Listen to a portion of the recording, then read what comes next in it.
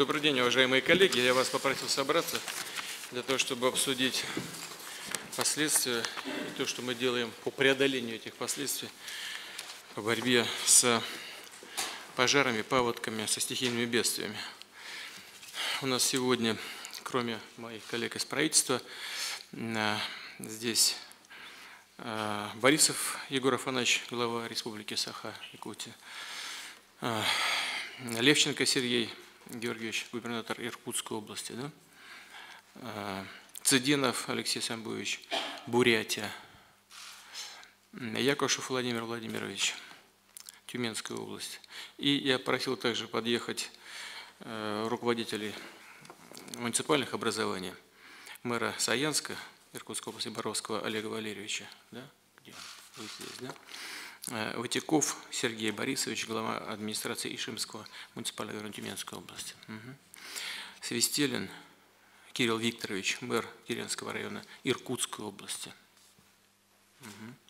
И э, Шепеть Андрей Анатольевич, глава муниципального образования зоны Аларского района Иркутской области. Угу. Вот поговорим, как я сказал, ну, само собой разумеется, по ликвидации последствий природных пожаров на территории Сибири. Давайте с этого начнем. Наиболее напряженная ситуация, как известно, сложилась в Иркутской области и Бурятии, но в, э, в Бурятии поменьше, тем не менее проблемы тоже есть. В целом э, в обоих субъектах э, федерации сгорели десятки жилых домов, и благодаря слаженной работе пожарно-спасательных подразделений, слава богу, не допущена гибель людей. Вот это самое главное – и это хотел бы отметить. В ходе совещания, надеюсь услышать от вас доклады, как организована работа по оказанию поддержки пострадавшим гражданам, включая временное размещение, медицинскую и материальную помощь. Ну, мы с вами по телефонам уже со многими разговаривали, мне и глава МЧС докладывала, и э, руководители регионов, но хотелось бы услышать актуальную информацию. А, как известно, денежные выплаты гражданам в связи с утратой имущества уже ведутся. Э, прошу э, региональные власти держать этот вопрос под постоянным контролем.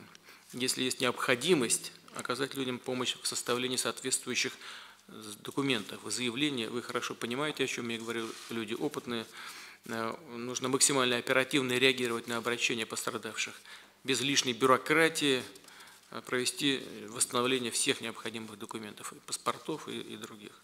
Еще один важный вопрос – и, можно сказать, приоритет – это ремонт строительства жилья взамен разрушенного пожаром, либо приобретение нового на вторичном рынке. Работа на этом направлении большая. Вот мы пока в машине сейчас ехали с Сергеем Георгиевичем и с э, полпредом уже начали разговаривать на этот счет.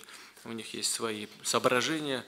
Ну вот, во всяком случае, в Иркутской области они сейчас это доложат. В любом случае действовать нужно без раскачек и промедления, чтобы люди имели возможность как можно скорее переехать в новое жилье.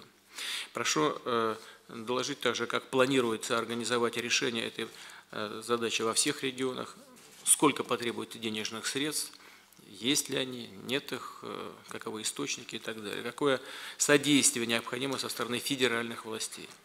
Теперь, что касается паводка – он затронул территорию Центрального, Сибирского, Уральского, Приволжского, Северо-Западного федеральных округов. Подтоплены жилые дома, социальные объекты, транспортная инфраструктура. Наиболее пострадала Тюменская область. Сейчас все не буду перечислять, Владимир Владимирович скажет об этом. Э, просил бы также сообщить, как организована эвакуация людей, размещение пострадавших граждан. Ну, Владимир Владимирович говорил, что в целом там небольшое количество в ПВРах находится, но все-таки хотелось бы услышать сегодня, как на данный момент времени, что в этой сфере происходит в Тюменской области, да и в других регионах. Что делается для защиты объектов инфраструктуры, жизнеобеспечения, находящихся в районе паводка. В целом механизм действия в подобных чрезвычайных ситуациях у нас отработан, соответствующая нормативная база есть, она принята, и прошу вас в самые короткие сроки оказать гражданам, у которых пострадало жилье, имущество, всю предусмотренную законом помощь, а также провести детальную оценку причиненного ущерба инфраструктуре, жилым социальным объектам, наметить план конкретных действий по их восстановлению. И в заключение хочу еще раз подчеркнуть, что в регионах, пострадавших от паводков и пожаров, важно максимально оперативно провести весь объем восстановительных работ. Рассчитываю, что федеральные ведомства, э, регионы, муниципалитеты в решении этой задачи будут действовать предельно четко и скоординированно, с полным пониманием своей ответственности. Давайте начнем.